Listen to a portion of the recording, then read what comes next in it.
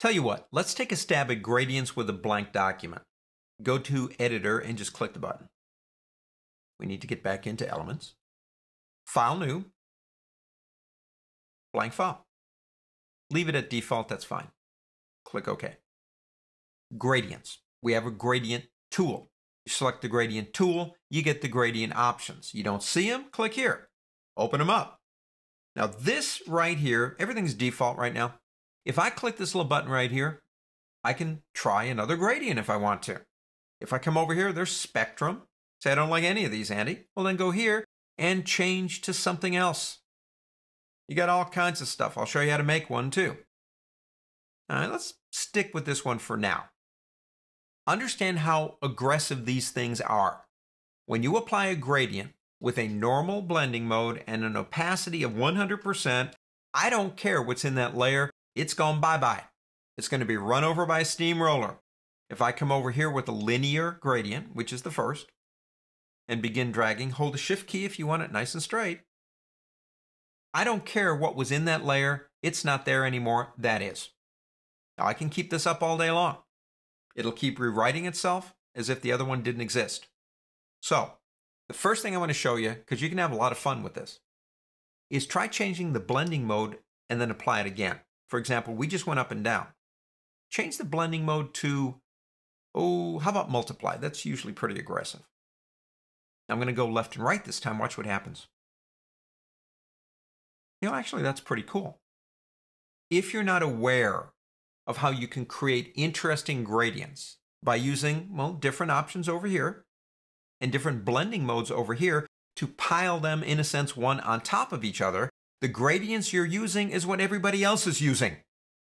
And I want to be unique. Now, sometimes unique is not good, but actually that doesn't look too bad. Might make a nice background for something. You say, Andy, I don't like any of the gradients. That's fine too.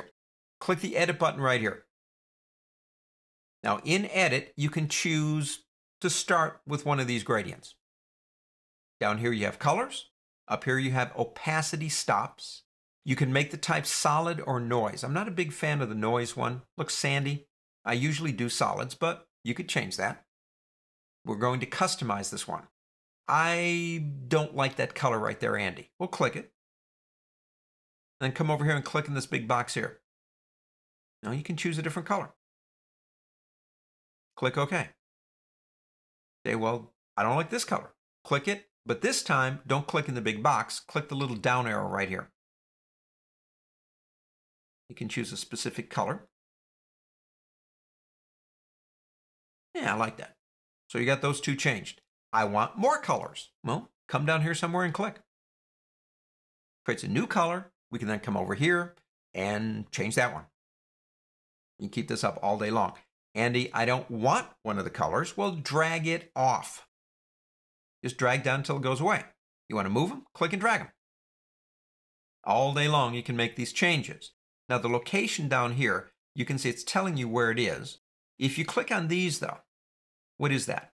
That's actually the mixing point between the two colors on either side. If I move it, I'm going to get more of this color as opposed to that one. And you can move that back and forth. Now, what are these? These are opacity stops. You can actually have opacity as one of, in a sense, your color. If I come here and say I want opacity stop here, just click up there. And when you select it, you get opacity down here. If I change that to zero, and then I use this gradient, those areas will be transparent and whatever's behind them will come through. So you can create really any type of gradient you want. You say, well, I like this. Well, give it a name, my first gradient, and add here to the presets. And it came up right over here. You now have it. You can use it any time you want.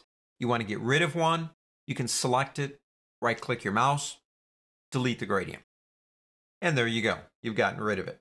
Total control. Now you have a plus sign up here. Now that will load a gradient file into the presets just like we did down here. You have a button here which actually saves them to a file. Now we talked about this in doing swatches and the process is the same. If you create a unique set of gradients, metallic gradients, uh, background gradients, whatever, and you want to save them, you can click this button and save them. Give them a name just like swatches. They will go into the gradients subfolder, which is important so you can get to them again. After you close and reopen the program, they'll be right here under that button. You click save, you got them. Click OK to get out of here. Gradients are fun to work with, but I think the most fun with gradients is understanding using different things like multiply and blending modes and opacities to create a gradient that actually is uniquely yours. Let's go ahead and close. And we don't need to save it, unless you want to. On to the next.